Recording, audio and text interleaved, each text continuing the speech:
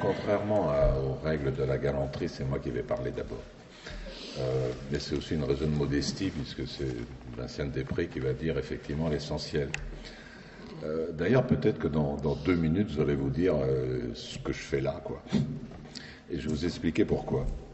Depuis plusieurs décennies maintenant, la, la réflexion sur l'animal, sur la, condition animale, les droits des animaux, langage animal, les limites et les frontières entre l'humain et l'animal, ont fait l'objet d'une kyrielle d'ouvrages philosophiques. Moi, je suis critique littéraire à Libération, donc je les ai lus, ces livres. Mais euh, c'est pas pour ça que je vais dire quelque chose sur les animaux. Euh, D'autant que j'ai à côté de moi Vinciane Després, qui est sans doute euh, l'une des grandes spécialistes européennes de la question. Et donc je vais essayer d'être bref parce que je ne sais pas ce que j'ai à dire moi sur les animaux. Euh, je vais vous l'avouer tout de suite. Moi j'ai peur des animaux. Mais j'ai très très très peur des animaux. Euh, si j'ai écrit euh, Un animal, un philosophe, il y a quelques années, c'est parce que les animaux qui y figurent n'ont pas de griffes, n'ont pas de poils, ils feulent pas, ils rugissent surtout pas, ils beuglent pas, ils aboient pas. C'était des animaux gentils. Il y avait une petite coque du Kierkegaard, et Kierkegaard dit voir un petit garçon qui, euh, avec une, un petit bout de bois, essaye d'ouvrir la coque. Et ensuite, il dit voilà, il ne sait pas que cette blessure va rester euh, à vie à l'intérieur de la coque. Ou alors un petit chien qui s'appelait Bobby.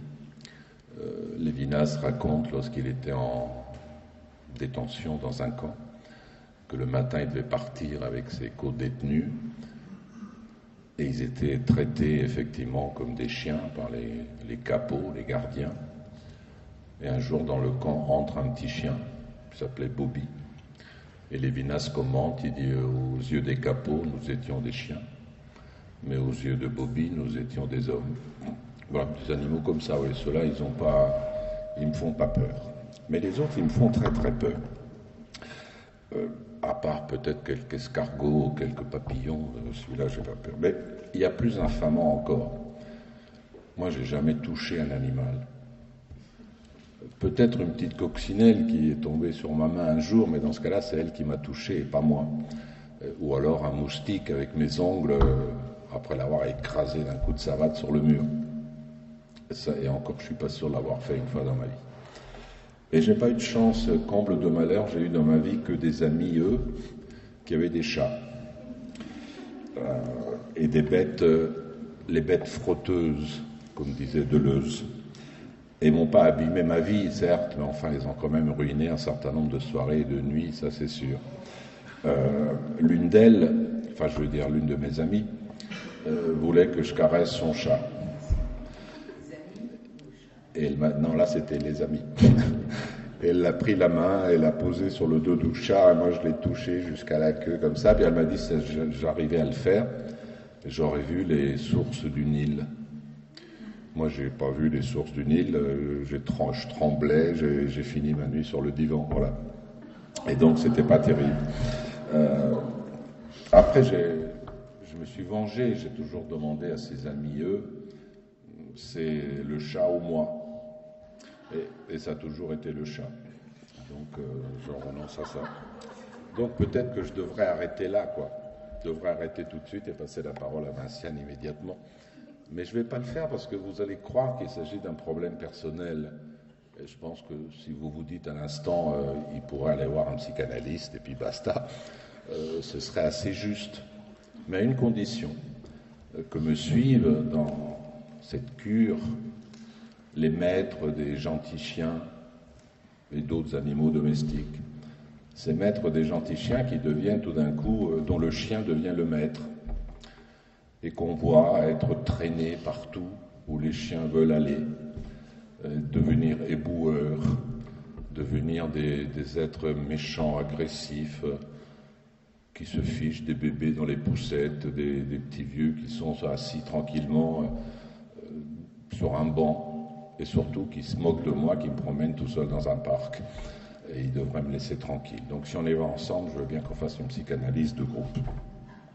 Mais si au lieu de chatons, de chiens, j'avais parlé de rats, de grosses araignées, de scorpions, de serpents, de méduses, de requins, de cafards. Peut-être que dans la salle, il n'y aurait pas eu des suaves sensations chez tout le monde. Euh, parce que certains, effectivement, auraient dit Ah non, pas les cafards, pas les araignées. Donc, à partir de là, on peut dire que si on faisait le compte de tous les individus qui ont peur de tel ou tel animal, on serait justifié à dire qu'il y a une peur des animaux. Je vous demande juste de retenir le mot il y a, que j'utilise presque au sens de Heidegger, quoi. Euh, l'être est là, cette chose-là. Et de même que la peur est l'une des caractéristiques principales du rapport des hommes aux animaux, il est aussi un rapport principal des animaux entre eux, dont Deleuze, encore une fois, disait que l'être de l'animal, c'est être aux aguets. Et évidemment, on est aux aguets lorsque l'autre animal d'une autre espèce, probablement, m'effraie aussi en tant qu'animal. Donc, si on peut admettre qu'il existe chez l'homme une peur de l'animal, et pas seulement ma peur à moi des chats et des chiens, euh, on pourrait se questionner euh, qu'est-ce que la peur peut nous dire de l'animal? Est-ce que la peur peut nous dire quelque chose de l'homme dans son rapport à l'animal? À la fois dans le processus d'hominisation de l'homme, mais aussi dans le processus d'animalisation de l'animal. Donc, pour que je puisse encore parler quelques minutes avant que vous me viriez et dire bon, c'est de la pathologie, donc on n'a rien à faire contre lui, euh, je voudrais quand même essayer d'aller un petit peu plus loin et d'essayer de savoir ce que ces animaux que Deleuze, je me réfère toujours à Deleuze parce que je l'adore et qui m'a formé, euh, il appelait les animaux familiers et familiaux. Retenez bien les deux termes, familiers et familiaux. Je crois que le sens s'entend de façon euh, euh, intuitive sans qu'il y ait besoin d'explication. Alors, est-ce que ces animaux, familiers et familiaux, est-ce qu'ils ont rendu les animaux qui n'ont pas de nom, ceux qu'on ne connaît pas, est-ce qu'ils n'ont pas éjecté hors de l'être, hors du monde, dans le néant? Et à la fin, j'appellerai animal ceux qui étaient justement rejetés hors des animaux. Pour l'instant, j'en dis pas plus. Pour le comprendre, quand même, on peut commencer par là. Oui, animaux domestiques, familiers, familiaux tous ces termes, encore une fois, de façon intuitive, il n'y a pas grand effort à faire pour voir que ça renvoie à des maisons et des familles. C'est cette idée, c'est par cette idée de domus, de maison, que je voudrais commencer. En grec, vous le savez peut-être, ça se dit oikos. O-I, tréma, K-O-S. L'oikos, c'est la maisonnée. Et on peut entendre par maisonnée euh, la maison plus la famille, en gros. Et je voudrais partir de là, donc. Le foyer correspond à l'oikos, dans la mesure, effectivement, on peut considérer comme oikos ce qui s'est constitué autour d'un feu. Alors, quant à savoir qu'est-ce qui est devenu oikos, à quel moment, pourquoi, à quel endroit euh, est-ce que l'oikos a-t-il été choisi ça, ce sont des questions, je n'ai pas l'intention de faire de grandes fresques anthropologiques, je ne vais retenir que ce qui sert mon propos euh, sur l'animal. On ne va pas juger non plus de la pertinence de telle ou telle théorie, Vinciane pourra le faire peut-être tout à l'heure si elle en cite quelques-unes. Je veux simplement souligner de façon un peu cavalière ce que le processus d'hominisation a touché par rapport à l'animal, a touché de l'animal. Et j'utilise avec frémissement ce terme de toucher l'animal parce que si je le réalise au sens individuel, évidemment, ça me fait tout de suite une répulsion. Alors on peut imaginer que le Écosse s'est fixé dans l'histoire humaine à un certain moment. C'est lorsque a cessé le mouvement, ou a cessé, lorsque un mouvement de nomadisme a été suivi ou accompagné ou remplacé par un mouvement de sédentarité. C'est-à-dire lorsque les hommes se sont arrêtés quelque part. On peut imaginer donc que le devenir de ces toikos dépend de deux facteurs. ou assure plutôt deux facteurs, excusez-moi, la survivance et la survie. Les hommes arrêtent de marcher, se fixent autour d'un feu. La question qu'ils ont, c'est comment survivre, comment subsister. Une notion les réunit toutes deux, c'est la notion de protection. Et c'est cette notion que je vous demande aussi de retenir. Il y a protection. Se protéger soi, protéger la famille, protéger ce qu'on fait, protéger ce qu'on a, protéger l'oikos en tant que tel. Telle est la tâche qui me semble attachée à cette histoire de la sédentarité. Alors, assurer la survie implique l'évitement de ce qui porte atteinte à l'intégrité même des individus. Il faut éviter les dangers, il faut éviter les nourritures toxiques, il faut apprendre l'art de soigner les maladies par la magie des plantes, par exemple, ou protéger les enfants, ne pas s'exposer à ce dont on pourrait devenir effectivement la proie. Donc ça implique la possibilité d'exploiter les ressources du milieu. Mais si on développait un petit peu, on verrait vite apparaître une autre notion que celle de protection, de subsistance ou de survie, qui est la notion de culture. Et je voudrais m'attarder un tout petit peu sur cette notion de culture. Pour entendre ce que signifie le mot culture, il faut faire un certain nombre de détours.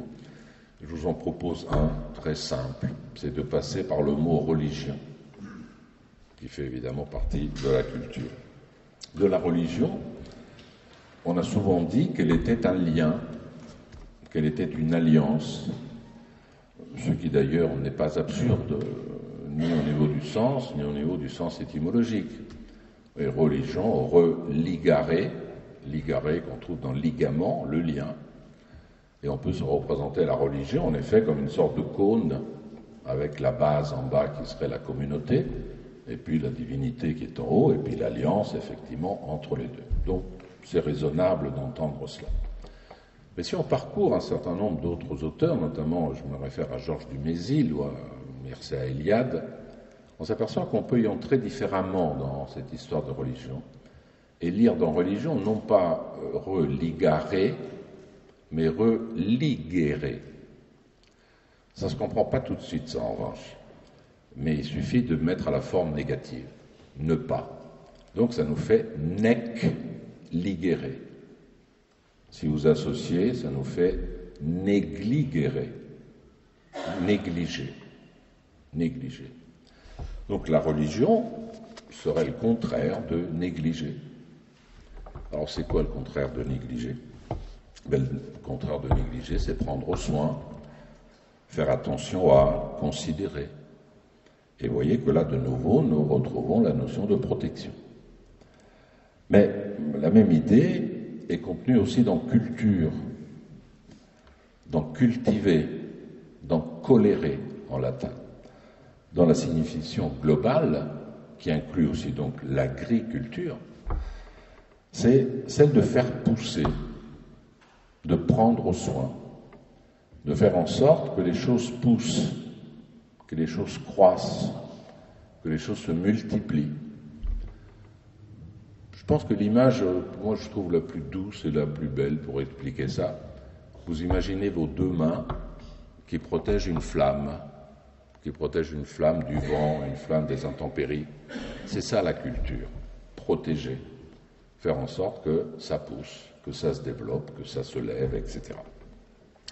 Aussi, il n'est pas totalement infondé de dire que l'oikos est le lieu de la culture, de la survie, et de la subsistance. C'est-à-dire l'ensemble des procédures et des pratiques qui assurent ou garantissent la possibilité de la survivance. Alors, n'entrons pas dans le détail non plus là.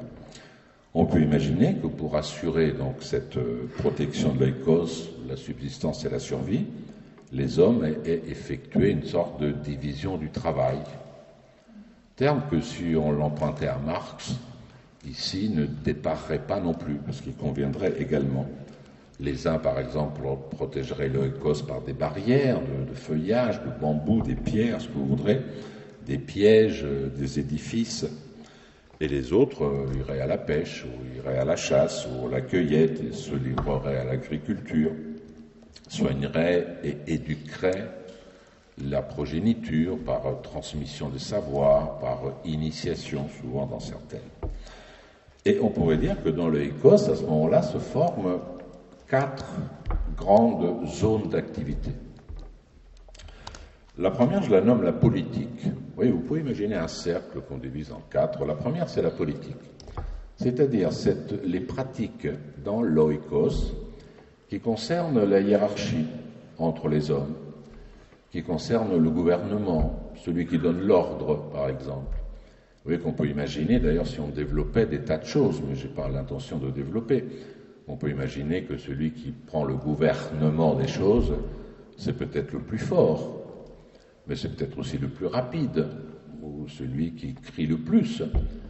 On peut imaginer, je vous laisse le faire, le fait que dans cette zone politique, les femmes, euh, bientôt, vont être exclues, parce que la période de, la gestation, pendant qu'elles sont enceintes, exige qu'elles n'aillent pas, effectivement, à la chasse, donc elles laissent euh, aller euh, les hommes à cette activité. La seconde zone, c'est ce que j'appelle la zone de la paideia. C'est un mot grec qu'on pourrait traduire en allemand par Bildung et qu'on pourrait traduire en français par formation. Donc c'est cette zone d'activité de l'oikos qui s'occupe de, de, la gestion des affaires interrelationnelles, dirions-nous dans un langage moderne. Les petits conflits entre les gosses, euh, les distributions des jouets, des canapés, tout ce que vous voudrez. Les conflits, souvent les conflits affectifs, avec les enfants notamment. Une zone que j'appelle le sacré, sur laquelle je vais revenir dans un instant, dont j'en dis rien, puis une zone qui s'appelle l'économie. L'économie, ça tombe sous le sens, puisque le mot porte la trace économie, oikos, nomos, les règles de l'oikos, c'est-à-dire la règle de l'échange, quand on échange des choses, on peut échanger une arme, une flèche, une fronde, une nourriture, euh, et ça, ça fait la zone de l'économie, qui va évidemment se développer lorsque les ressources, si vous pensez par exemple à des tribus de pygmées qui font encore ça aujourd'hui en Afrique, lorsqu'on a exploité l'ensemble du milieu, euh, on n'a plus de ressources, euh, il va falloir échanger avec un autre Écosse de l'autre côté des montagnes, de l'autre côté de la rivière, c'est maladroit de dire ça, mais il faut le dire quand même, c'est l'échange des biens, mais aussi l'échange des femmes. Parce qu'un oikos euh, va subir un processus d'entropie si effectivement il n'y a pas échange des femmes. Donc cette zone, on l'appelle la zone effectivement de l'économie, et c'est peut-être le terme qui porte le plus cette euh, origine. La principale, néanmoins, me semble être celle du sacré, qui se dessine je crois, un moment précis de, l'histoire de, de l'hominisation. Bien sûr, on ne sait pas le dater, mais je pense que l'idée ne peut pas être exclue. C'est le moment où quelqu'un s'est dit qu'il ne laisserait pas manger son frère, son père, sa mère, son enfant, par la nature, par les pluies, par la fange, par les bêtes, et qui a effectivement enterré un cadavre. Je crois qu'il y a là la première forme véritablement forte, visible de culture. Ça veut dire quoi enterrer un cadavre? Ça veut dire euh, l'arracher au présent, à la verticalité du présent, qui se détruit, parce que le présent se détruit par les éléments naturels, et l'installer dans une verticalité où la mémoire se construit. Pourquoi c'est une zone du sacré? Parce qu'évidemment, à l'endroit même où on, a, enseveli le cadavre, qui est celui de ma mère, qui est celui de mon fils, on mettra des pierres, on mettra des bouts de bois, avec cette expression latine, excusez-moi, le latin me revient naturellement, moi. Noli tangere, touche pas à ça, touche pas, marche pas dessus. Vous voyez, à partir du moment où personne ne marche dessus, personne n'y touche, ça va devenir une mémoire. On peut imaginer ensuite des inscriptions, tout ce qu'on voudrait sur cette mémoire. Donc la zone du sacré est l'une des plus importantes, évidemment, de l'oikos. Alors, cette zone, effectivement, euh, adjointe aux autres que je viens de décrire, ne peuvent pas résoudre complètement la question de la protection. Parce que précisément, euh, on se rend vite compte que les forces contre lesquelles on doit se protéger sont plus fortes que nous. Elles sont au sens propre, et vous voyez que je fais un petit détour, mais là je retombe sur mes pattes comme un chat. Je dis ça alors j'en ai jamais vu. Euh, c'est là qu'on retrouve la peur. Les forces naturelles, les forces animales, qui, peuvent détruire ce que je suis en train de protéger, y compris la tombe, y compris la maison elle-même, y compris les enfants, y compris, etc., etc., elles sont plus fortes que nous. C'est la pluie, l'orage, la foudre qui incendie, le soleil qui brûle, les bêtes qui effectivement viennent dévorer ce qu'on avait ramassé à la chasse ou ce qu'on avait ramassé pendant la cueillette. Et on s'aperçoit en effet qu'on ne peut pas faire grand-chose contre le soleil qui chauffe trop fort ou contre la foudre qui tombe. Les latins, encore une fois, avaient un mot formidable pour dire ça. Ils appelaient ça la calamitas, qu'on trouve dans la calamité. Mais la calamité, c'est l'exemple même du malheur. Le malheur, malheur, c'est ce qui tombe mal. Ben, il y a le raisin qui pousse, ça c'est plus contemporain. Euh, le raisin est presque. On a envie de le manger, et puis après il y a l'orage, la grêle, ça détruit tout. La calamitas. On n'y peut rien. Évidemment, les stoïciens disaient bon, il faut séparer ce qui dépend de nous de ce qui ne dépend pas de nous, donc la pluie, ça ne dépend pas de moi. Allez dire ça à un agriculteur, de, un viticulteur de l'Hérault qui, a sa récolte très. soit stoïcien. Enfin, le type, il se simplement. Enfin bref, on se rend compte que toutes ces puissances euh, ne sont pas aussi faciles à manier. Et les procédures auxquelles j'ai fait allusion tout à l'heure vont se mettre en place, mais elles vont relever de ce qu'on peut appeler la pensée magique. Il faut les amadouer, ces puissances. Allez, j'ose le terme comme ça vous comprendrez. Il faut les domestiquer, ces puissances. Comment les domestiquer? Ben, Comment on le fait euh, quand on veut amadouer quelqu'un ou gagner ses faveurs, en tout cas et faire en sorte qu'il ne soit pas notre ennemi, on lui fait un cadeau. Là, pour ceux qui s'intéressent, euh, je mets une note en bas de page, voir euh, Marcel Mauss, le potlatch, et ainsi de suite. N'entrons pas dans le détail. Pour lui faire un cadeau, il faut lui adresser des mots. Et j'aime rappeler, encore une fois, sans faire euh, le latin, je ne suis pas du tout latiniste, hein, parce que je suis italien, que les mots latins me viennent. Oui, la bouche, c'est os. Os, OS. Et quand on bouge la bouche pour s'adresser à la pluie ou quand on s'adresse au vent, commence à bouger, ça fait une oraison. Ça fait la prière. S'il te plaît, soleil, brûle pas ma récolte. S'il te plaît, vent, détruis pas ce que j'ai construit des murs. Mais je peux, à partir de là, chanter pour qu'ils m'entendent davantage. Je peux danser. Je peux faire de la musique. Je peux inventer des rites. Des rites propitiatoires, c'est-à-dire qui rendent propices ces forces redoutables qui me font peur. Et je vais aller plus loin je vais leur offrir un vrai cadeau. Je vais tuer mon fils pour lui donner.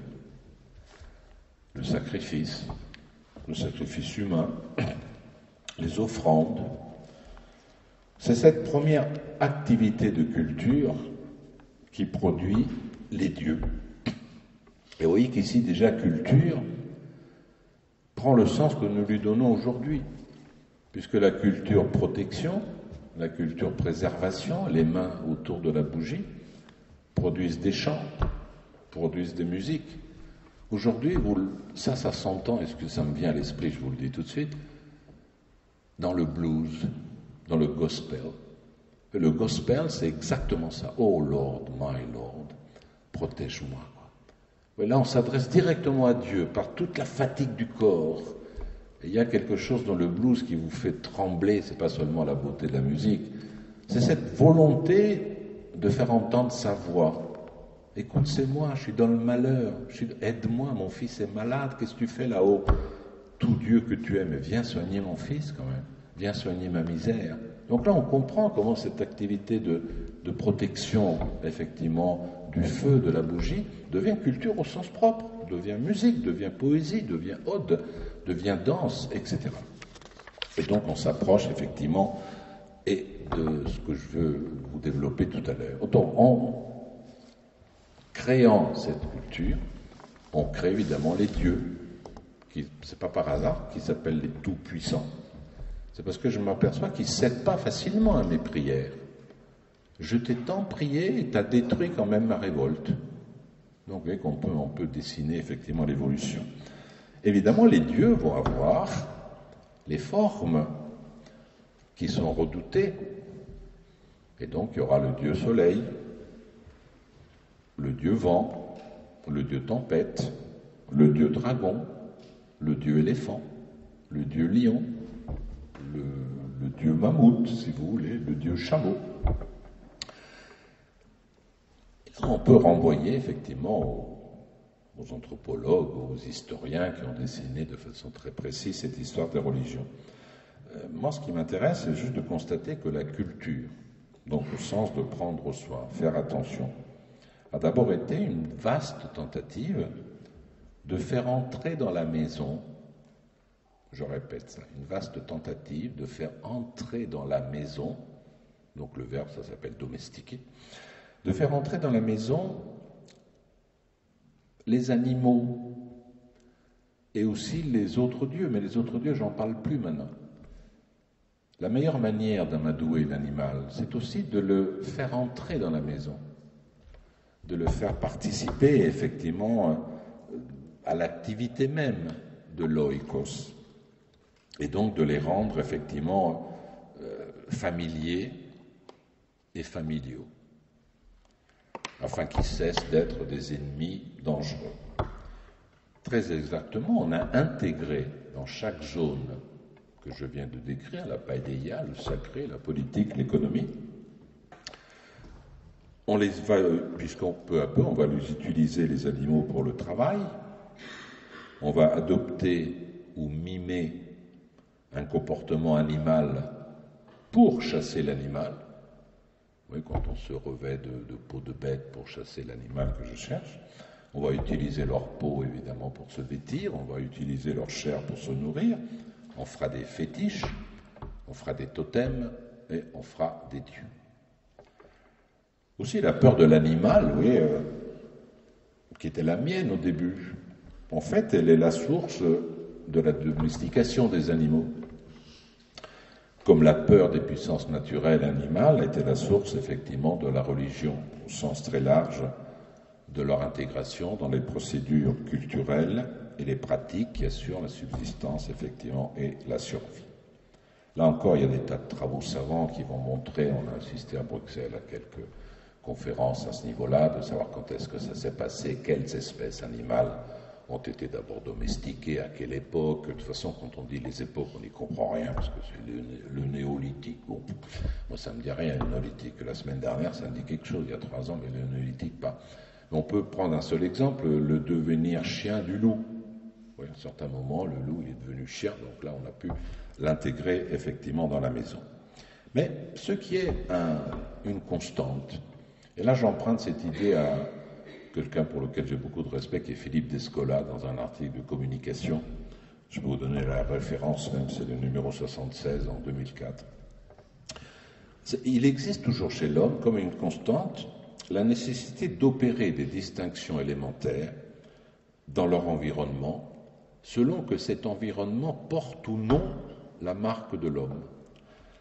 Ou pour utiliser le langage des géographes, la différence entre l'écoumène et l'érème c'est-à-dire entre les lieux que les hommes fréquentent habituellement et les lieux dans lesquels ils ne s'aventurent que de façon très rare et de façon très craintive, très peureuse.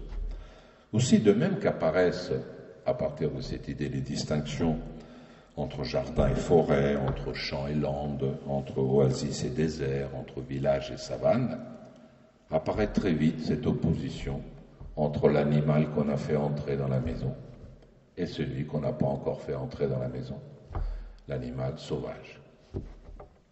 Les latins, ils avaient des distinctions pour ça. Ils appelaient bestia l'animal quand il s'oppose physiquement à l'homme. Pour aller vite, c'est celui qui affronte le gladiateur. Ça, c'était bestiae, les bêtes. Et ils font une distinction entre l'animal, celui qu'on appelle maintenant domestiqué, et la feria, les feriae, c'est-à-dire les animaux sauvages, ceux qui ne sont pas entrés dans la maison, mais qui rôdent autour. Hein. Faites attention, parce qu'ils sont toujours là. Alors, on peut comprendre à partir de cette idée de séparation entre les animaux domestiques et les animaux sauvages, qui est une banalité absolue, euh, on peut comprendre cette idée-là, c'est que le développement du travail, le développement de l'agriculture, la nécessité de se nourrir, etc., d'être aidé dans son travail par l'animal, par exemple, fait qu'on peut raisonnablement penser quand même que la zone de la domesticité animale, on a essayé de l'élargir au maximum, et par conséquent, la zone euh, de l'animalité sauvage, on a tenté de la réduire. Mais vous voyez que là encore, euh, si on le traduit en termes de leusien, ça veut dire qu'on a amplifié le comportement humain vis-à-vis de l'animal et on tente de réduire le comportement animal de l'homme vis-à-vis de l'animal. Le comportement animal de l'homme, c'est le comportement vis-à-vis des bêtes sauvages, celles qu'on chasse par exemple. Deleuze dit qu'aujourd'hui, euh, il n'y a que les enfants qui ont un comportement animal avec l'animal. Nous, on a un comportement humain. Or, cette expansion de la zone de l'animalité n'est évidemment pas infinie. On ne va jamais coloniser l'ensemble, effectivement, des animaux sauvages. Tout au plus, euh, pourrait-on les connaître. Et là, je n'ai même pas besoin de démonstration. Ne pouvons pas domestiquer les animaux qui échappent, on les a connus. On a tenté de les connaître, de les décrire, d'en décrire le comportement. Et oui, autour de nous, il n'y a pas besoin d'explication. On sait tout des ours, des, chameaux, des animaux même préhistoriques. Autrement dit, ne pouvons pas faire que ces animaux sauvages soient familiaux, on a fait en sorte qu'ils fussent familiers. Familiers par la connaissance connaissons le mode de vie, euh, l'habitat d'espèces que peu de gens ont approché. Et c'est sur euh, cette idée que je voudrais effectivement terminer, insister et terminer à la fois. Tous ces animaux seulement euh, familiers, on ne les interroge pas souvent. Vous voyez, les questions ont-ils une âme?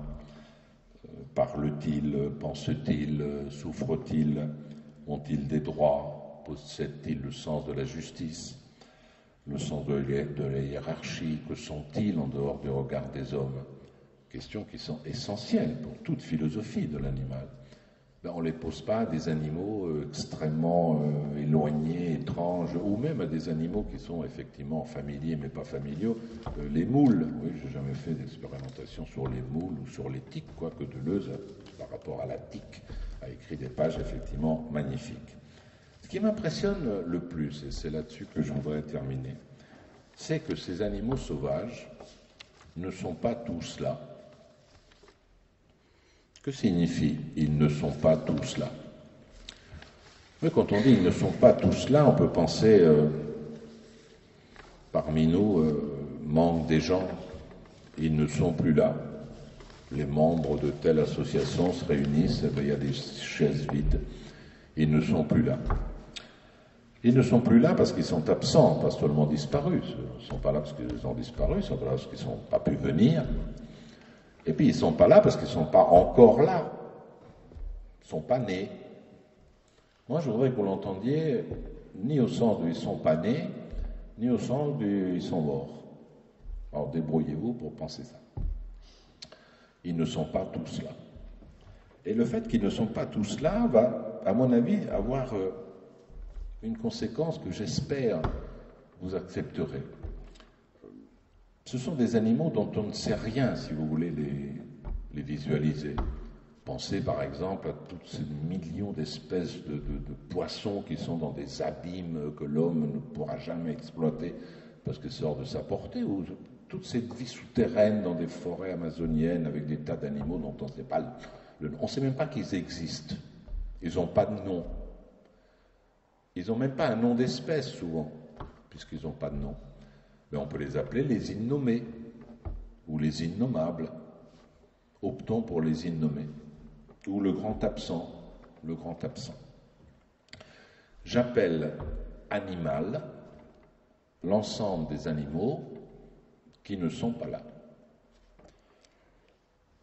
et qui font comme un trou noir dans le vivant. Un trou noir, presque au sens de la physique, un trou noir dans le vivant. Alors, de cet animal-là, moi, j'ai pas peur. Pas peur du tout. Et on ne doit pas en avoir peur. À quoi on peut le comparer? Et là, ce que je vous présente maintenant, ce sont des propositions. Ce ne sont pas des thèses, ce sont des propositions. Moi, ça me fait penser, mais peut-être par des formations professionnelles, au néant. Mais au néant au sens de Sartre. C'est-à-dire le néant qui vient comme ouvrir l'être. Si parmi vous, il y a des gens qui ne sont pas spécialistes, pas philosophes, imaginez quelque chose d'extrêmement compact. Et quand les choses sont tellement compactes, on ne peut rien y faire à l'intérieur. Il faut une ouverture, il faut un trou, il faut que ça s'ouvre. Sartre appelle néant ce qui ouvre l'être, que lui il appelle l'être en soi. Vous voyez, quand il est ouvert, commence à avoir une relation spéculaire, c'est-à-dire je peux me regarder, ça devient l'être en soi devient un être pour soi, d'où apparaît la conscience. Alors peut-être que cet animal, on pourrait l'envisager comme le néant qui vient ouvrir l'être. Point la ligne, je reste là, c'est vous qui réfléchissez. Ça me fait penser aussi à autre chose, le réel. Mais là, faites attention aussi, il faut prendre des précautions. Le réel, c'est pas ce qu'il y a devant nous pas ce qu'on voit, c'est pas ce qu'on touche. Le réel, c'est ce qui n'est pas là, ce que je capte pas. Vous voyez, quand une théorie capte quelque chose, le met dans les raies de la raison, le réel, c'est ce qui n'est pas capté. Ce qui explique que ce réel va se présenter de manière impromptue, ce qu'on appelle l'événement, et qui va obliger ma théorie à se casser, à s'ouvrir pour intégrer l'élément nouveau. Mais cette théorie amplifiée va être elle-même détruite par un autre élément. C'est pour ça qu'en science, la vérité, elle est asymptotique. Oui, vous avez l'acte des abscisses, l'asymptote fait ça, ça touchera jamais l'acte des abscisses. Donc on ne touchera jamais la vérité, mais on la cherche, on s'en approche. C'est une sorte d'appropinquation de la vérité. Mais on l'aura jamais la vérité. Mais peut-être que ce trou dans le vivant. Peut-être cet animal, c'est peut-être la vérité des animaux, mais une vérité asymptotique. C'est qu'aucun discours sur l'animal, ni philosophique, ni scientifique, ne touchera jamais. Et ceci me paraît être effectivement une idée aussi dont il faut avoir peur. Ça ne signifie pas qu'il n'y a pas de vérité. Ça signifie qu'on ne peut jamais mettre la vérité dans une théorie, et que donc c'est pour ça qu'il y a un progrès des sciences. Entre parenthèses, c'est pour ça aussi qu'il n'y a pas de progrès en philosophie. Si vous avez un bouton là, vous allez voir un dermatologue et vous le voyez sortir un traité du XVIIe siècle, il vaut mieux se barrer tout de suite parce qu'il va vous tuer le visage. Mais si vous voulez réfléchissez sur le plaisir, vous pouvez lire un texte qui vient de sortir, vous pouvez lire Épicure, un texte du Moyen Âge, Lévinas avait une formule magique pour dire ça.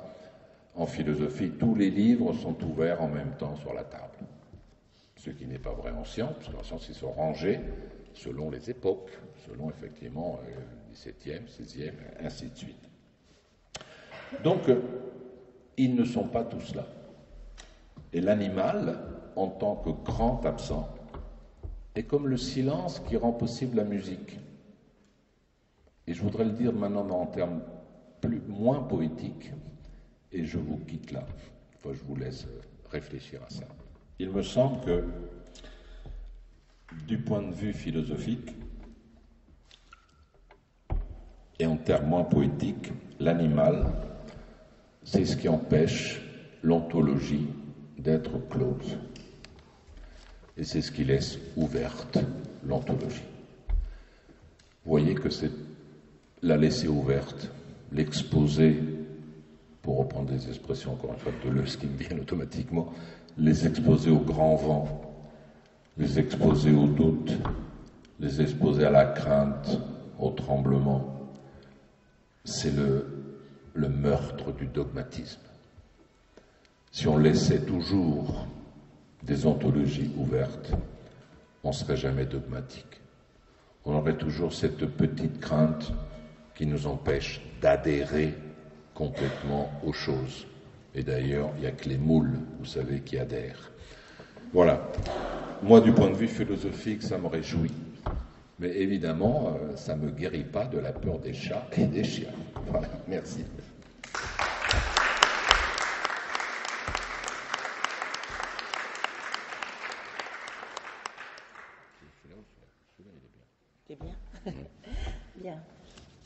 Je vais partir de l'affirmation de Robert, mais cette fois-ci, je vais parler du côté non plus de ces animaux sauvages, ni de ces animaux qui, qui d'une certaine manière, se trouvent au plus loin.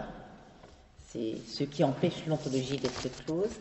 Et je vais donc partir de l'animal familier, mais en, repartant d'une certaine manière, en faisant un décalque avec la proposition de Robert et en proposant d'une certaine manière que l'animal familier serait celui qui fissure l'ontologie d'une double manière. Il fissure en quelque sorte l'évidence de l'animalité, puisqu'il est familier, et il fissure aussi, et c'est ça peut-être qui va être plus difficile à montrer, l'évidence de l'humanité. Donc ce serait l'animal qui remet en question à la fois le statut de qu'est-ce que veut dire être humain et qu'est-ce que veut dire être un animal, mais il le fait en même temps que l'animal remet en cause le statut de l'être humain, on le sait, mais l'animal familier ferait en même temps par rapport à l'animal et par rapport à l'humain.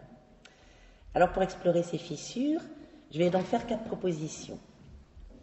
Et je vais donc ajouter à, celle de Robert l'ontologue thérophobe, parce que donc tu n'es pas zoophobe mais thérophobe.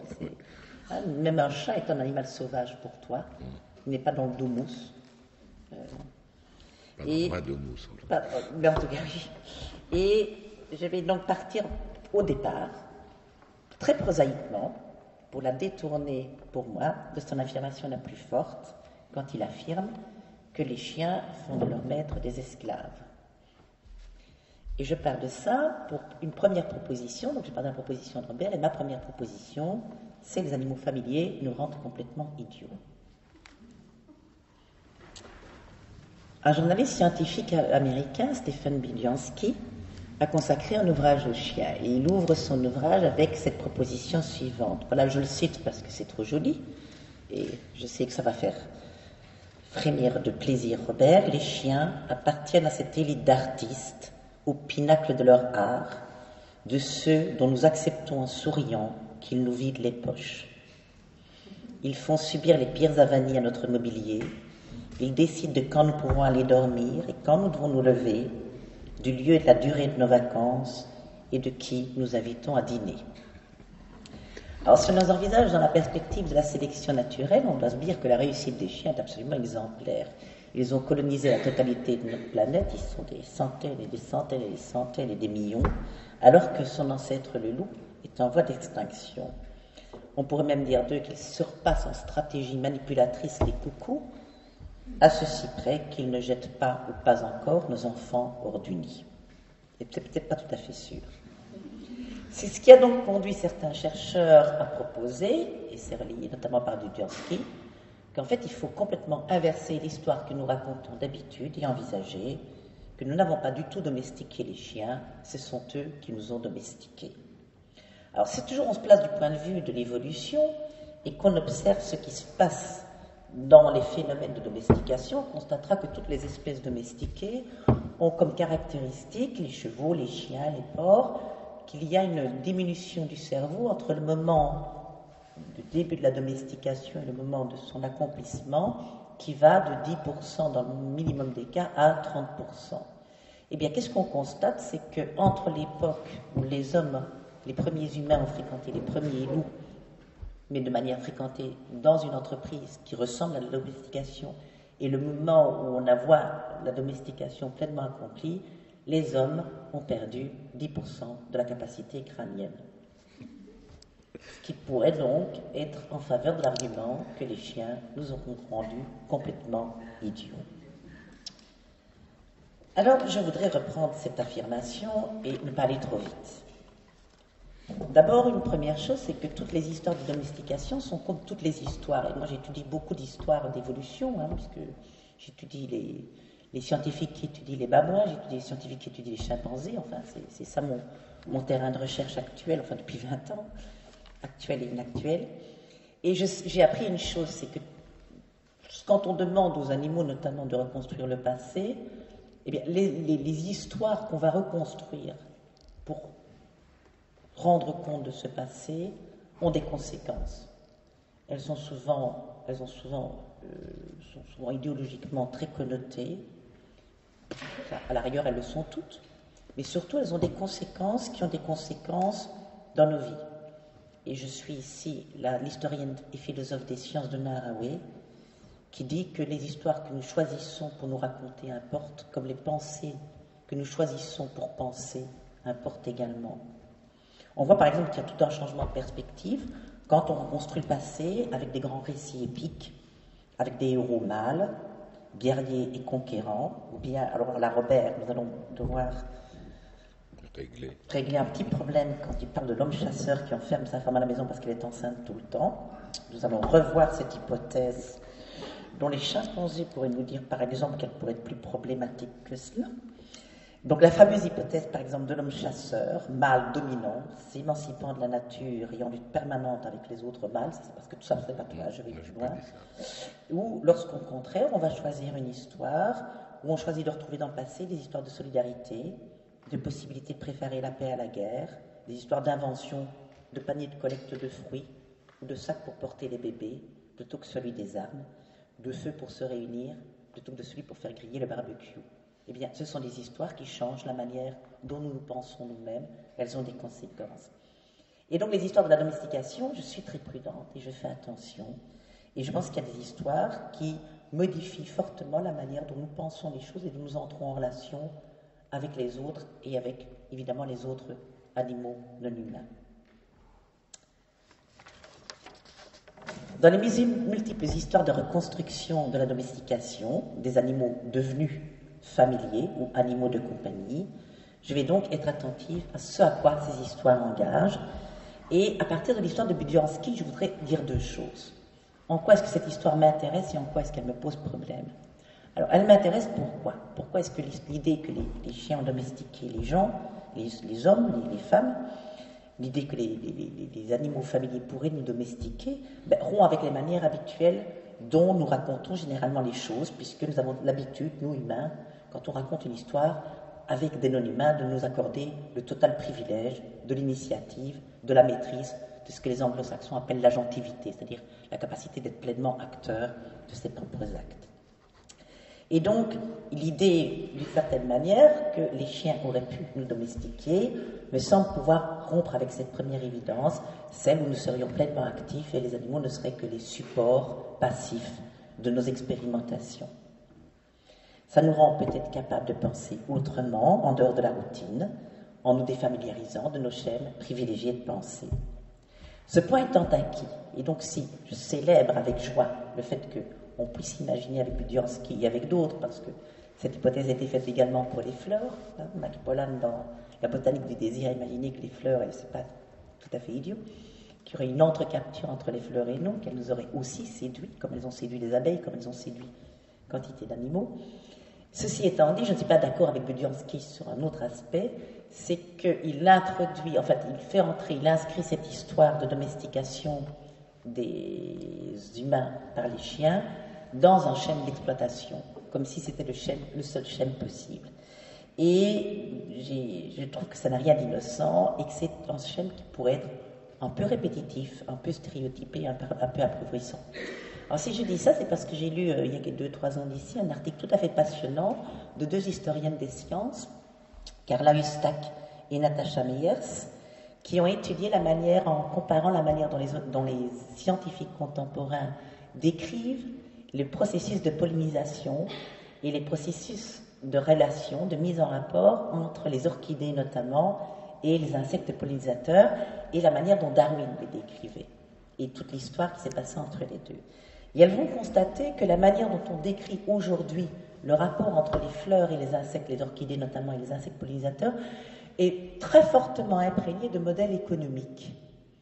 Euh, et de modèles économiques extrêmement rudes, alors qui offrent l'avantage d'offrir une pleine agentivité aux fleurs et très peu d'agentivité aux insectes. Alors en fait, qu'est-ce que c'est devenu?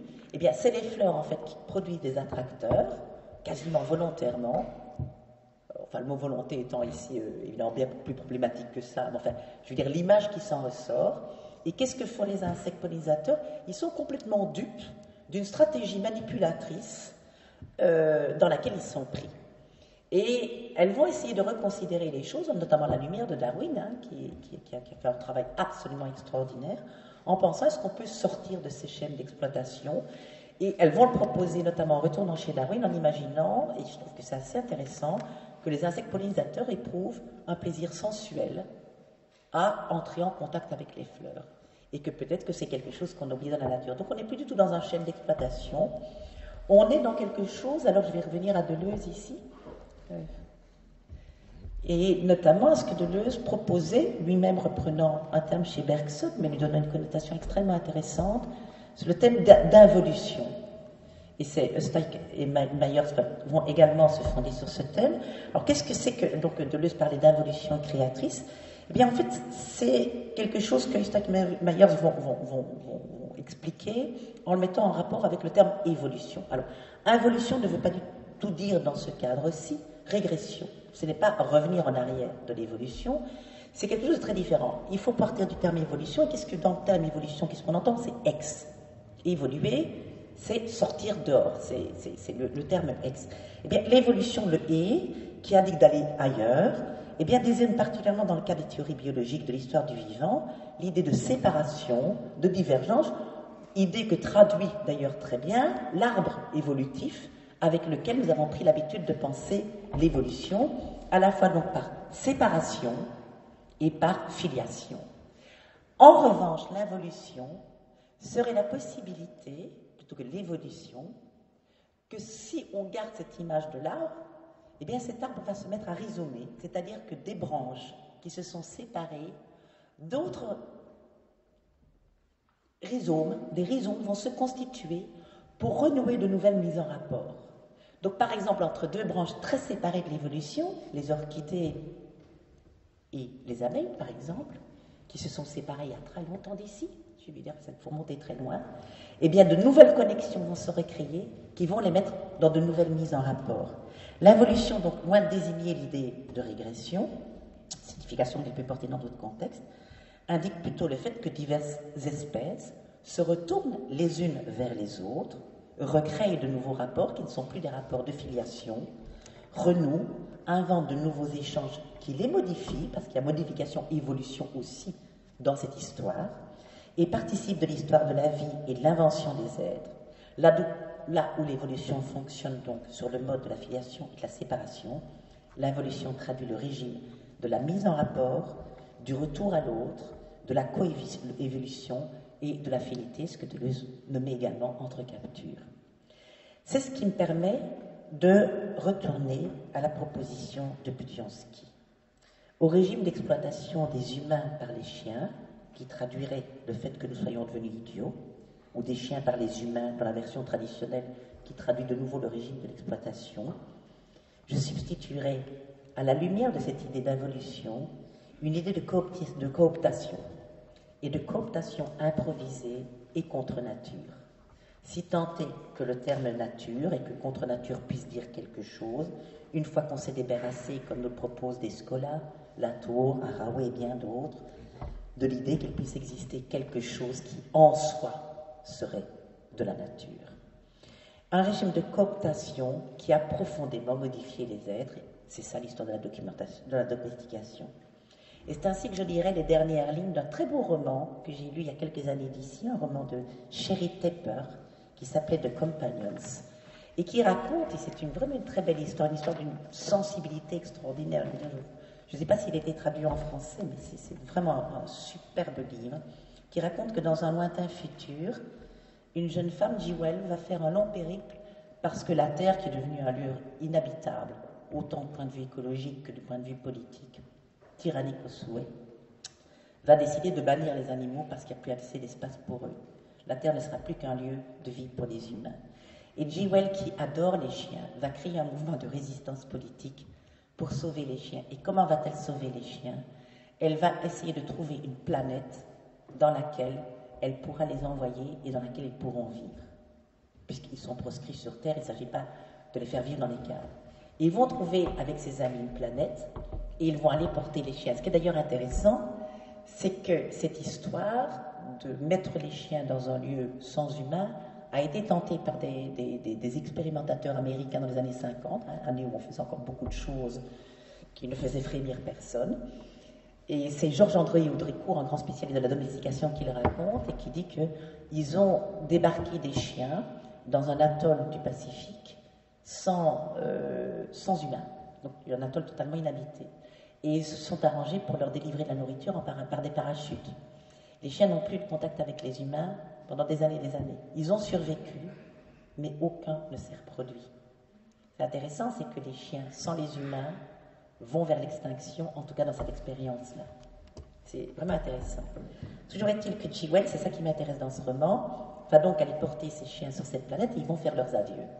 Et les chiens à cette époque, parce qu'on est, en, euh, est beaucoup plus loin que maintenant, ce sont les chiens du 28, e siècle, donc on est déjà pas mal, on est déjà fort loin dans le temps, ont appris à parler très grossièrement, mais il y a une manipulation génétique qui leur permet, avec des appareils phonatoires, de parler. Et voici ce qu'ils vont se dire pendant les adieux. Scramble, la chienne préférée de Jewel, va lui dire, euh, va lui demander pardon. Et elle va lui demander pardon, dit-elle, au nom des siens, pour les dizaines de milliers d'années au cours desquelles les chiens ont réduit les humains en esclavage. On revient sur cette même hypothèse. Mais c'est la réponse de Jewel qui m'intéresse. Et qu'est-ce qu'elle va dire dans le rire et dans les larmes des adieux? Mais peu importe, Scramble, qui a rendu l'autre esclave. Ce qui importe, c'est que nous avons été ensemble. Ce qui importe, c'est tout ce temps au cours duquel nous nous sommes empêchés les uns les autres de devenir complètement mauvais. Alors cette réponse, ne nie pas qu'il y a appropriation. Ce n'est pas une réponse innocente que les relations seraient tout à fait pures et romantiques et paisibles et pacifiques. Mais il me semble qu'elle situe la réponse dans un cadre éthique et esthétique, et bien plus esthétique qu'éthique d'ailleurs. Être ensemble, se transformer dans un devenir avec, a pu empêcher certains de devenir un peu, en tout cas les empêcher de devenir complètement mauvais. Peut-être les a même, leur a même permis de devenir un peu meilleurs. Ce sera Ma deuxième proposition, les animaux familiers nous rendent meilleurs et dans ce cas-ci un peu plus intelligents. Je veux dire qu'ils changent, qu'ils modifient, qu'ils étendent une manière de penser et qu'ils nous défamiliarisent de nous-mêmes, ce qui est certainement une manière d'être un peu plus intelligent. Je repense ici à la définition que de Castro disait, l'anthropologue brésilien Viveros de Castro disait, de l'anthropologie disait que c'est une entreprise, une pratique de décolonisation de la pensée. Bien peut-être que les animaux familiers pourraient participer, dans certains cas, à cette entreprise de décolonisation de la pensée. Parlant de son chat de son enfance, la sociologue des animaux d'élevage, Jocelyne Porcher, écrit ceci. Elle dit qu'elle s'est construite comme humaine avec lui. Et, voici, et je la cite à partir de maintenant. Une part de mon identité relève du monde animal et c'est mon amitié fondatrice avec un chat qui m'y a donné accès. Car les animaux nous éduquent, ils nous apprennent à parler sans les mots, à regarder le monde avec leurs yeux, à aimer la vie. Dans un très beau livre tout récent, publié depuis quelques mois, l'anthropologue brésilien nouveau, qui s'en passe des choses du côté du Brésil, Eduardo Cohn, propose que nous prenions au sérieux le fait que les forêts pensent. Alors il dit, euh, il écrit, Enfin, vous pourriez penser que comme anthropologue, ce n'est pas le régime dans lequel je dois, je dois écrire. Je dois parler comme anthropologue du fait que je m'intéresse à comment les gens pensent que les forêts pensent. Eh bien, ce n'est pas mon propos. Il dit non, non. Moi, je, je, vais écrire à propos du fait que les forêts pensent. Mais si je peux écrire à propos du fait que les forêts pensent, sans trop m'attarder à la question anthropologique de comment les gens pensent que les forêts pensent, c'est parce que si les gens pensent que les forêts pensent, c'est parce que les forêts pensent. Et je trouve que c'est un beau mouvement ce qu'il nous propose là, c'est un beau mouvement de réalisme en anthropologie et de, d'une certaine manière de, réarticuler l'anthropologie au plus près de ses objets. Eh bien, d'une certaine manière, je me dis que peut-être que, le projet d'Ardocon, qui est explicitement nous faire sortir de nos barrières mentales, de créer la possibilité de penser dans des mondes qui pensent sans langage, donc de modifier la manière dont nous pensons, dit même de libérer notre pensée, eh bien, on pourrait penser que la domestication, le dispositif de domestication, dont on ne sait pas quelle est l'origine, dont on peut savoir quelle était la réelle origine, plusieurs en plus, il n'y a pas une réelle origine, il y en a eu plein probablement, ce sont toutes des séries d'événements qui, qui sont advenus, mais que d'une certaine manière, en tout cas, on peut parler de ces effets, et que le processus de domestication aurait peut-être pour effet de modifier la manière dont nous pensons la manière dont nous sentons, parce que penser et sentir, une fois qu'on modifie la manière de penser, on doit peut-être penser que, penser, c'est sentir aussi. Et que penser, ça nous déborde largement du cadre du langage, bien entendu, et c'est peut-être ça aussi. Et là, je rejoindrai évidemment une équipe d'anthropologues australiens qui a publié des travaux il y a quelques années d'ici, et qui a fait une hypothèse, notamment en constatant cette diminution de la capacité crânienne chez les animaux, que les, humains se seraient transformés en chassant avec les loups. Et que le fait de chasser avec les loups aurait modifié la manière dont le cerveau humain est constitué, dans la mesure où ça aurait euh, probablement conduit à une diminution de certaines sphères, et notamment des zones qui s'occuperaient des émotions et surtout de la sphère olfactive, parce que ces, talents, ces compétences, ces capacités, dans la chasse coopérative avec les loups devenant chiens, ont été pris en charge par les alliés. Et inversement, les, chiens auraient certainement perdu certaines compétences qui auraient été prises en charge par les humains. Et c'est assez intéressant, je vais aller un peu plus vite dans mon exposé que ce que je devais faire autrement, on est parti encore jusqu'à jusqu 9 heures c'est une certaine de ces compétences que les loups auraient perdues. C'est fort intéressant, c'est qu'on est en train de les étudier en laboratoire. Et qu'est-ce qu'on étudie en laboratoire? Alors, je vous cite des, recherches toutes récentes sur les chiens euh, faites en laboratoire. C'est un très joli article qui s'appelle, le titre, le sous-titre est Les chimpanzés sont causaux, les chiens sont sociaux. Et c'est une expérience qui va mettre en, relation, en rivalité, pourrait-on dire, les chimpanzés et les chiens. Je vais essayer de, raccorder ça à ce que je suis en train de dire. Alors, qu'est-ce qu'on fait? C'est le test de l'objet caché. C'est une épreuve qu'on fait souvent passer aux animaux pour voir comment est-ce qu'ils pensent les relations causales dans le monde. On cache un, un, objet dans une boîte fermée. Il y a plusieurs petites boîtes. Et on voit quel est le critère selon lequel l'animal est capable de le retrouver. Et qu'est-ce qu'on constate Si on secoue la boîte et que ça fait du bruit, le chimpanzé, il excelle là-dedans? Donc ce que je veux dire par là, c'est que tous les indices qui indiquent la matérialité de la présence de l'objet, d'un objet invisible, le chimpanzé excelle. Et pourquoi est-ce que le chimpanzé excelle? Parce que dans la nature, il est tout le temps confronté à ce genre de problème. Les termitières, il ne voit pas les termites. Il doit aller les chercher avec des petites tiges, parce que justement, elles sont invisibles. Donc le chimpanzé apprend à faire tout le temps des relations causales entre des événements matériels, ce qui avait d'ailleurs fait dire à des primatologues en 78 que les chimpanzés sont des physiciens. Par contre, le chien, vous pouvez secouer la boîte tant que vous voulez, c'est pas son problème, il, ne peut pas trouver l'objet. Par contre, si vous désignez du doigt la boîte, tout de suite il s'y retrouve, ou si même vous la regardez, il la trouve tout de suite. Ce qui fait dire que les chiens suivent les indices sociaux Là où les chimpanzés ne sont pas bons du tout, alors qu'ils savent ce que ça veut dire planter du doigt? On sait qu'ils savent ce que ça veut dire, mais ils ne savent pas l'utiliser, faire des inférences pour trouver des objets à partir de là. Eh bien, on a constaté que les loups étaient bons dans le domaine causal et pas bons dans le domaine social. alors qu'il sait ce que c'est que pointer aussi?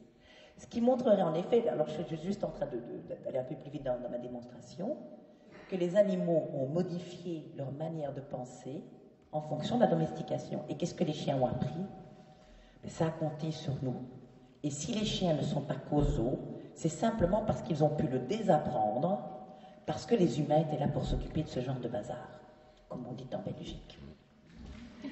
Alors la question qu'on pourrait se poser, mais là j'ai pas de réponse, c'est de la pure spéculation, c'est on a inhibé notre régime d'attention aux odeurs, ça nous le savons. Nous avons inhibé des régimes d'attention à d'autres choses, mais qu'avons-nous gagné? Et ça, on n'a pas beaucoup exploré jusqu'à présent. Est-ce qu'on a exploré, je veux dire peut-être qu'il faudrait, euh, est-ce qu'on a gagné certains modes d'attention à autrui? Je me demande si c'est parce qu'on a gagné. Mais peut-être qu'on aurait pu le faire rien qu'entre humains. Mais ce qu'on n'a pas gagné, alors ce que je dirais, c'est des modes d'attention à l'hétérogénéité. Je pense par exemple, moi, j'ai pas de chien, je, suis profondément malheureuse de ne pas avoir de chien, mais je suis moins malheureuse de ne pas avoir de chien que ce qu'un chien serait malheureux de m'avoir pour maîtresse, dans la façon dont je m'en occuperai aujourd'hui avec euh, ma vie qui est un peu, un peu trop agitée. Mais il m'arrive d'emprunter des chiens pour avoir la joie pendant une heure ou deux d'avoir un chien. Et donc je promène des chiens, c'est mon grand bonheur. Eh bien, j'ai constaté que moi, mon grand bonheur promener un chien, c'est pas avoir un chien avec moi, pour me faire voir avec un beau chien, je prends un bel homme plutôt, c'est plus intéressant. C'est simplement être dans, autrement dans le monde. Je suis, quand je suis avec un chien, parce que je le laisse tout faire, enfin, je veux dire, je le laisse aller où ils veulent, je ne laisse pas traverser euh, pas comme des fous, mais, je, suis. Et j'ai découvert, par exemple, que, que, moi, je suis une géographie odorante en ville. Et donc, je me promène en sachant pas où je vais aller, en laissant le chien me guider. Et c'est absolument une expérience merveilleuse, parce que c'est une expérience en usage de la ville qui est totalement inhabituelle pour moi. Eh bien, peut-être que, moi, je ne sais pas en quelques minutes que j'ai appris, mais peut-être qu'il y a quelque chose qui s'est dessiné dans notre façon d'être et qui tient peut-être à avoir des contacts répétés, permanents, avec des êtres qui ont des usages du monde complètement hétérogènes aux nôtres, et en même temps très convergents avec les nôtres, puisque les chiens ont appris à converger avec nos usages du monde. Et donc on se trouverait dans cette espèce de zone d'ambivalence, d'ambiguïté, de contradiction, où les chiens auraient fait certains pas vers nous, devenir sociaux plutôt que causaux, mais il reste à découvrir quels sont les pas que nous avons faits, qu'est-ce que nous avons transformé. Donc peut-être que nous avons, nous sommes devenus peut-être un peu plus intelligents au sens d'Edouard de Cône, c'est-à-dire que nous avons élargi, rendu plus flexible, ouvert pour reprendre le thème de l'ouverture, nos manières de penser. Troisième proposition, je vais aller un peu plus vite. Les chiens, les animaux familiers, je parle souvent beaucoup des chiens, on, aura la discussion de voir pourquoi je n'ai pas abordé les chats. C'est un domaine plus compliqué à aborder du point de vue qui est le mien.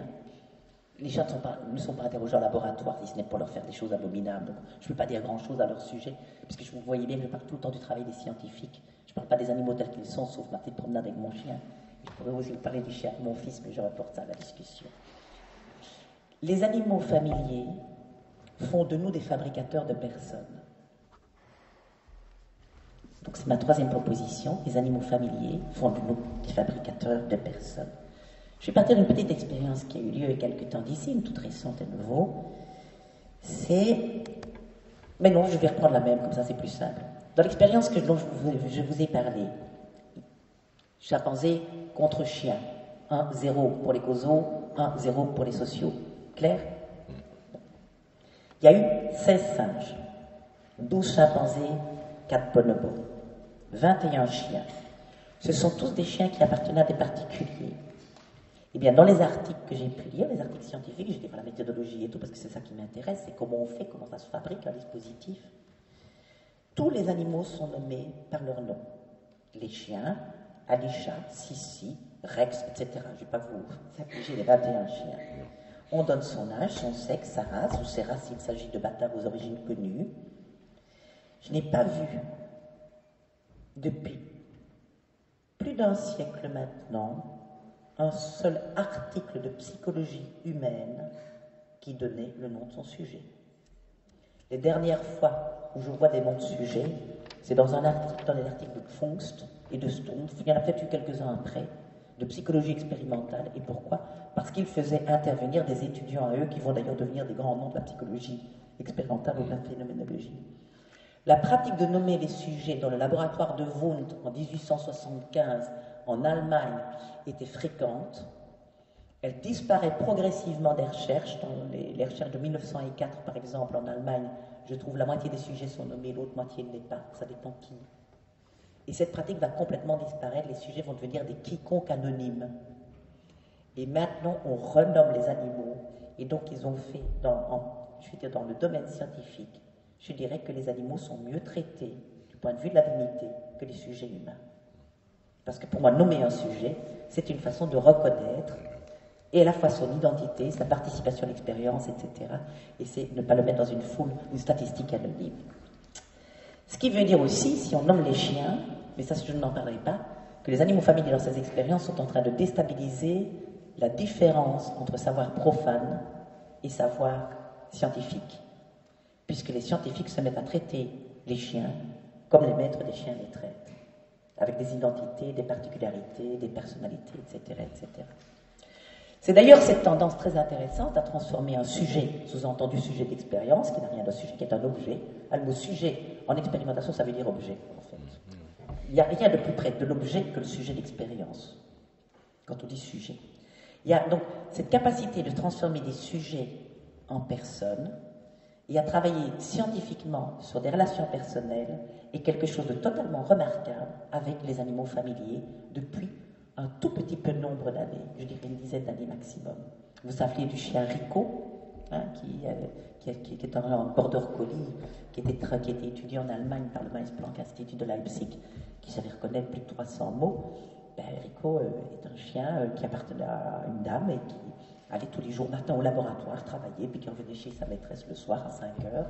Et, dans les articles, on parle de Rico, on ne parle pas de un chien, on ne dit même pas border collie, Rico, le border collie. Tout le monde.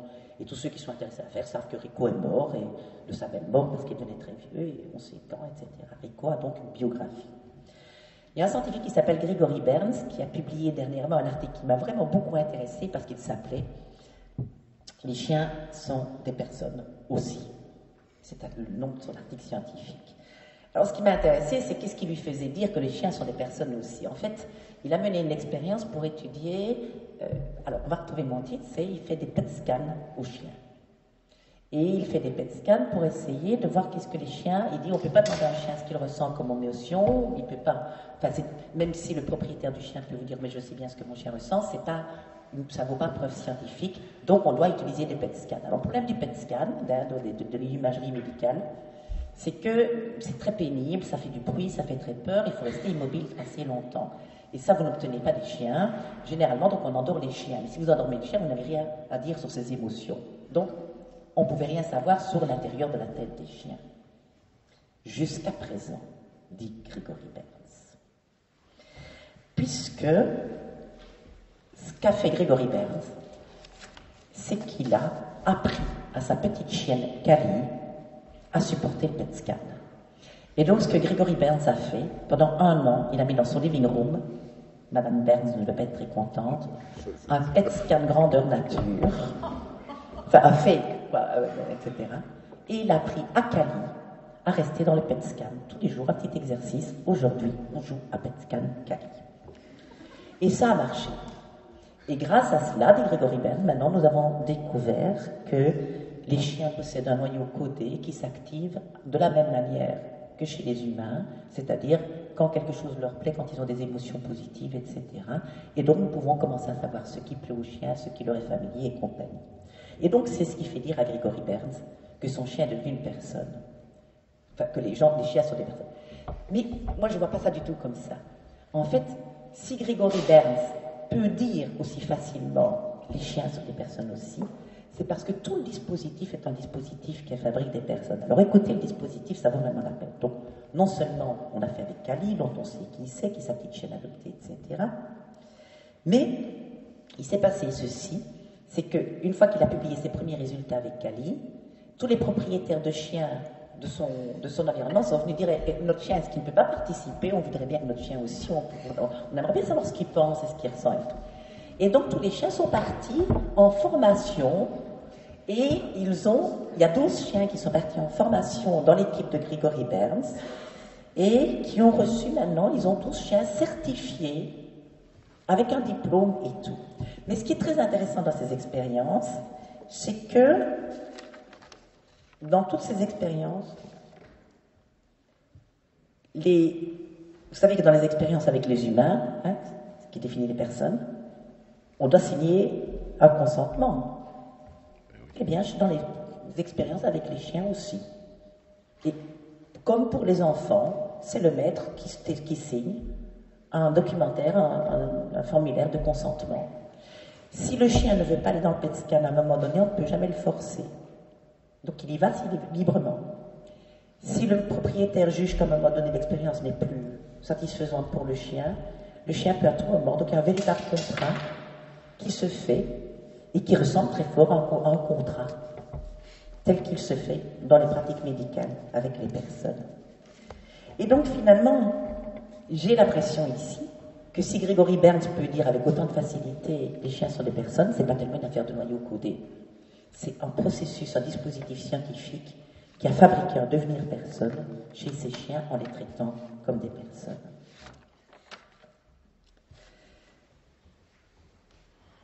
Ce qui veut dire qu'on rejoint ici ce que Lorenz disait. Lorenz, ce grand pionnier de l'éthologie, qui voyait chez les oies la possibilité d'être des personnes. Il a beaucoup étudié les oies cendrées. Et Lorenz disait, je peux voir chez les oies cendrées la possibilité d'être une personne, parce qu'en fait, la personne naît de la relation personnelle et pas l'inverse. Ce n'est pas parce qu'on est, une personne qu'on a des relations personnelles, c'est parce qu'on a des relations personnelles qu'on devient une personne. Et il dit, comme les oies cendrées établissent des relations personnelles, elles deviennent les unes pour les autres des personnes. Donc il ne nous demande pas à nous de les considérer comme des personnes, il dit, mais être personne, c'est toujours relatif à d'autres personnes. Bien, je vais donc arriver à ma dernière proposition euh, en partant de, cette idée que des dispositifs fabriquent des personnes en disant, mais il y a aussi des dispositifs de dépersonnalisation. Et à partir du moment où vous avez un dispositif capable de construire une personne, ça remet en question l'évidence de la personne, de ce que c'est qu'être une personne. Donc on ne naît pas personne, on le devient. Mais ça veut dire aussi que le fait d'être personne n'est jamais garanti pour toujours. Et qu'on a connu dans notre histoire suffisamment de processus de dépersonnalisation François Sironi, par exemple, étudie ça quand elle étudie la psychopathologie de la torture. Elle dit ce que moi j'étudie, c'est comment on, dépersonnalise des personnes. La, torture, c'est une dépersonnalisation. C'est un outil, un opérateur de dépersonnalisation. Alors, donc, à partir du moment où il y a des dispositifs constructeurs de personnes, il y a aussi des, dispositifs capables de dépersonnaliser. Ce qui faisait d'ailleurs dire, il y a un vieil adage toscan qui dit et vous allez comprendre où je veux en venir, qui veut noyer son chien dit qu'il a la rage. C'est un processus de dépersonnalisation. Et donc je vais interroger la possibilité de tuer des animaux par rapport à ce devenir personne. Ma quatrième proposition est la suivante. Elle se situera un peu en autre registre. Les animaux familiers nous obligent à poser des questions à propos de la justice des relations il rend peut-être criant l'injustice des relations. La proposition philosophique qui sous-tend, qui va étayer cette proposition, par laquelle je vais passer, est la suivante. L'animal familier naît à chaque fois avec le geste qui traduit l'impossibilité de l'utiliser comme nourriture. Alors je vais préciser. C'est un point de départ, c'est une proposition, c'est pas une hypothèse, c'est pas une reconstruction, c'est une proposition spéculative et pragmatique qui va me permettre de penser la question de la justice des relations en prenant l'animal familier au cœur de cette question. Je dis l'animal familier n'est à chaque fois. Pour préciser qu'il y a des refus d'utiliser certains animaux qui ne sont pas créateurs de familiarité, notamment des interdits de consommation, que ce soit pour des raisons d'hygiène, de religion ou culturelles. Nous ne mangeons pas beaucoup de carnivores, par exemple. je ne sais pas si vous avez remarqué, hein, notre alimentation, c'est principalement des herbivores. Il y a un évitement du carnivore.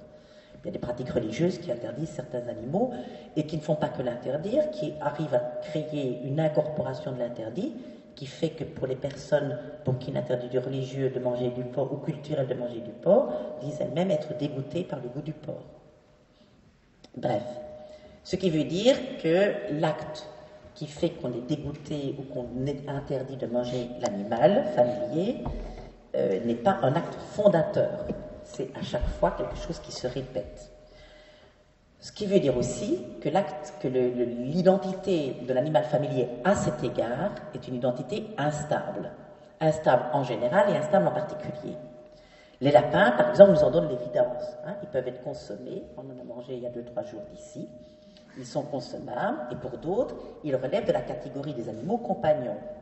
Qui n'a pas entendu cette histoire de lapin dont l'enfant, de l'enfant, dont les parents, souvent d'ailleurs à l'insu de ce dernier, et cette histoire fait véritablement figure d'événements terribles et de traumas pour les enfants, décident de mettre un terme à la carrière d'animal familier du fameux pampan et le servent au repas du dimanche sans rien dire à l'enfant avant, mais en lui avouant après.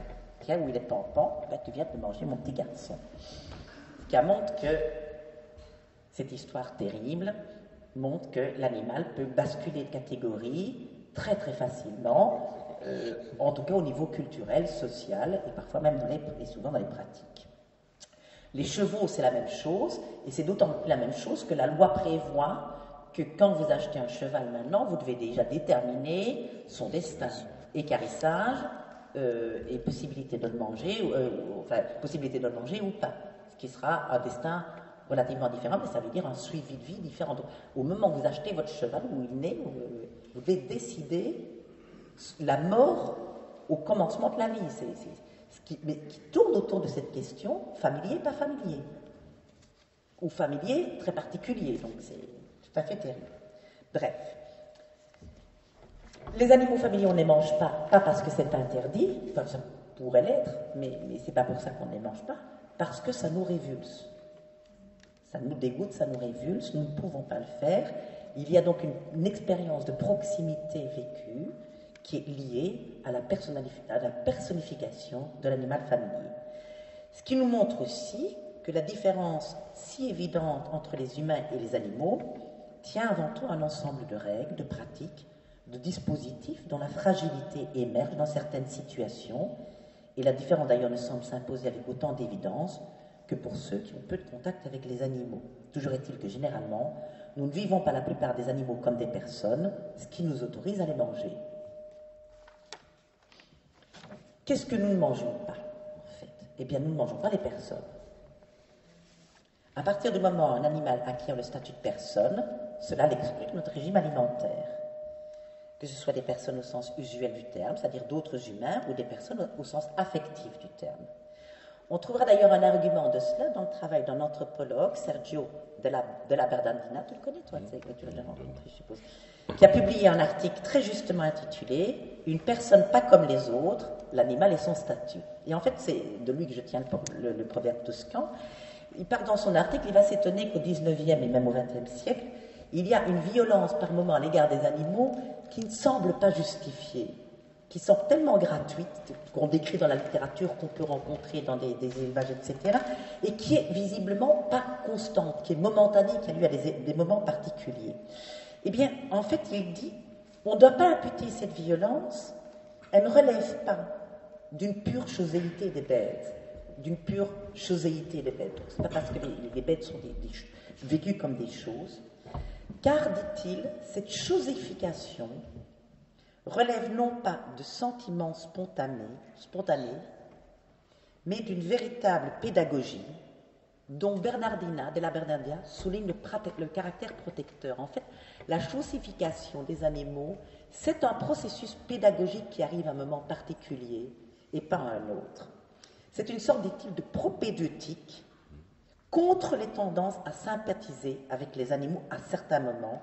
C'est une propédeutique pardon, excusez-moi, à l'ingrattage de tuer. Qu'on soit éleveur ou chasseur, le fait de devoir tuer un animal auquel on s'est attaché ou auquel on ne peut s'empêcher de s'identifier comme chasseur est une épreuve difficile. Eh bien, faire passer l'animal du statut de quasi-personne à qui on s'est attaché dans l'élevage ou de quasi-personne à qui on s'est identifié dans la chasse est une véritable épreuve qui pourrait rendre la chose impossible. Et donc, il va falloir qu'il y ait un mécanisme qui se mette en place, qui rende, qui fasse que la quasi-personne qui était l'animal redevienne, ou devienne, plutôt redevienne, c'est un mauvais terme, devienne un objet. Et il va citer une très jolie euh, observation, enfin un terrain de, de, Arlette Leroy-Gourand, qui est une anthropologue, la fameuse épouse d'André Leroy-Gourand, et qui avait observé dans l'île de Hokkaido, au nord du Japon, dans la fin des années 30, une pratique très étonnante. Les, gens de cette île vont capturer un ours dans la forêt, un ourson, vont l'accueillir dans le village, et pendant un an vont lui accorder un traitement extrêmement chaleureux. Il est considéré comme un invité, les femmes vont l'allaiter, et pendant un an, il va être choyé, considéré vraiment comme un enfant du village, caressé, et, on l'appelle le parent en visite. Et puis après un an, il y a une cérémonie. Et le jour de la cérémonie, on lui explique ce qui va lui arriver. Et puis les hommes se mettent à le malmener, à le mettre en colère. Et en fait, c'est une véritable comédie de l'innocence, écrit Arlette Leroy-Gourand, qui serait destinée à provoquer de la part de l'animal une réaction agressive, rendant sa mise à mort plus facile. Et en effet, l'animal va entrer dans une fureur qu'on peut imaginer, parce qu'ils vont aller très très loin dans la provocation. Il va se métamorphoser en brute sauvage, dont il va être légitime de s'en protéger et de l'abattre. En quelque sorte, le rituel consiste à animaliser l'animal. Et on s'aperçoit alors que cette animalisation s'avère donc aussi, sinon plus, artificielle que le processus inverse, celui de l'humanisation. Ceci nous éloignerait de notre sujet si je ne pouvais essayer de vous faire percevoir dans ce processus inversé ce qui, sauf cas assez rare, distingue l'animal familier des autres animaux. Le processus de personnification, la plupart du temps avec nos animaux domestiques familiers, est stabilisé et on ne craint pas sa rupture. Le processus de familiarisation avec les animaux d'élevage, dans les petits élevages, on sait qu'il est instable et on sait qu'à un moment donné, il va falloir rompre ce processus de personnification et d'une certaine manière recréer un nouveau processus d'animalisation. Et peut-être que donc finalement la quasi-certitude quand on a un chien ou un chat, d'une certaine manière, que rien ne viendra menacer ce processus de personnification, ou très peu de choses, si ce n'est accident, les cas étant accidentels, ce que rappelle ce vieil adage toscan. Et c'est ça qui m'intéresse finalement dans cette histoire, c'est qu'il y a une inversion qui est proposée. L'animal domestique familier ne devient pas une personne sous l'effet de la domestication ou sous l'effet de la familiarisation, quoique cette hypothèse soit également juste, hein, je ne suis pas du tout en train de la renier, mais de la compléter, mais reste une personne parce que le processus de dépersonnalisation n'est pas mis en place. En d'autres termes, il ne s'agirait pas alors, pour comprendre le statut très particulier des animaux familiers, de se limiter à comprendre comment on les construit comme des personnes, mais d'envisager comment ils ne sont pas victimes au même titre que les autres animaux de cet artifice qu'est la chosification. On pourrait à cet égard approcher le statut particulier de quasi-humain ou de presque personne des statuts que Nathalie Heinrich attribuait aux objets d'art. Ce sont des objets marqués par une insubstituabilité constitutive. Ils ne sont pas substituables. Alors c'est en effet une des caractéristiques de l'animal familier. C'est une des dernières propositions que je fais, mais elle est liée à la précédente. C'est qu'on ne peut pas si facilement que ça en acheter un autre. L'animal familier est souvent, particulièrement, partiellement en tout cas, irremplaçable. Avec cette limite paradoxale que connaissent les vétérinaires. D'ailleurs un représentant de Zoopsie et c'est avec eux que j'ai appris ça. Vouloir remplacer l'animal perdu par un autre qui lui ressemble engage parfois les relations dans une course vaine et dangereuse pour les relations parce que c'est une course aux comparaisons. Et donc, au point que les vétérinaires conseillent parfois à leurs clients d'acheter un chien ou un chat d'une autre race que celui qui vient d'être perdu, car sinon, justement, la substituabilité devient trop difficile à gérer. C'est dans la nouvelle relation que l'animal perdu et que l'on cherche à remplacer va s'avérer de plus en plus et irrémédiablement irremplaçable. C'est donc dans la nouvelle relation avec un autre animal qu'il devient encore plus irremplaçable. Qui, pour moi, traduit la, la, différence entre insubstituabilité et irremplaçabilité. Bon, comme vous le voyez, je conclus, c'est les toutes dernières lignes. Courage, mes amis, on est au bon. J'ai soigneusement évité le sujet de l'amour tout au long de cet exposé. Mais comme vous avez bien pu l'entendre, je n'ai finalement cessé d'en parler. Et sans doute ce sera là ma toute dernière conclusion. Ce qu'on fait en créant un lien avec un animal familier, ce serait sans doute l'art de créer de l'amour par d'autres moyens. Je vous remercie.